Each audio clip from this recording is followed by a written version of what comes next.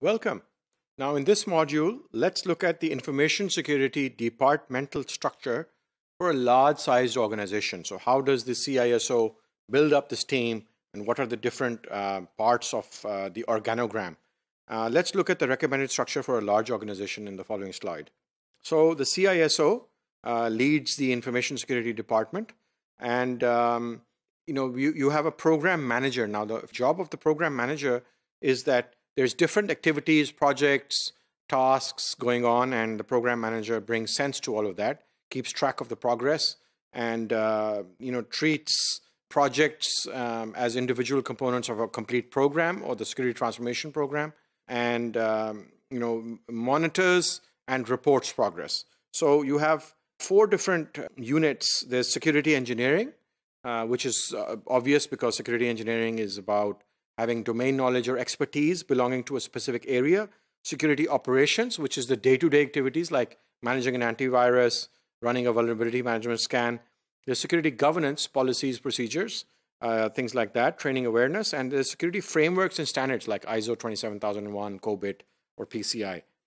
So this slide shows those uh, functions. So security engineering is domain knowledge, security operations, antivirus, running a security operations center, running security tools.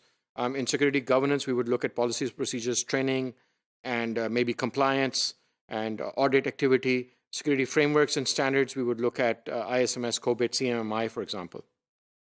And um, here in security engineering, in this slide, you can see that we would cover domain expertise for the network uh, security, system security, application security, and database security. And um, in the security operations, we're going to be running various security tools. In security governance, you have audit, training, compliance, SOPs, and policies.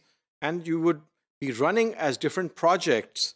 Let's say a PCI initiative would fall under the unit being looked after by the security frameworks and standards team.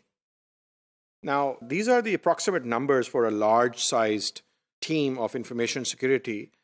You have one CISO, one program manager, about six security engineering staff, which would cover, let's say, one for network security, one for system security, one for application security, one for database, that's four. And then um, you would have maybe two more people covering other domains, uh, possibly. And then in security operations, you have maybe three or four people who are sitting in shifts. And uh, let's say if there are five people sitting in shifts in security operations, and they're looking after the antivirus and, and the tools and and uh, monitoring the IDS and IPS and the events and looking at the security information event management and they're doing password uh, management activities. So all of the security operations activities being done, five people in a shift and three shifts, that's 15 people. And security governance now, policies, you have one person for um, training and awareness, you would have another person for compliance, maybe another person that's about three or four people. And for security frameworks and standards, you would maybe have one manager and one or two people to help that person. So that's three people. So if you add all of these up, it's about 30 people. Now, in a large organization, um, uh, which has a large IT team, uh, a large organization can have an information security team ranging between, let's say, 25 to 30 people. This is what we usually see in Pakistan. Uh, and that would be about, you know, following the benchmark rule of thumb, which is about 10% of IT. So overall, there would be 250 to 300 IT staff, and maybe the whole entire organization staff would be 10,000 people. Uh, uh, you know, five, four or 5,000 people, and then you would have 250 to 300 IT staff from that, and about 25 to 30 uh, information security staff, and that's uh, um, the uh, you know kind of structure and number that we have for a large team. In the next modules, we look at for a medium-sized team and a small team as well. That's all that we have for this module. Thank you.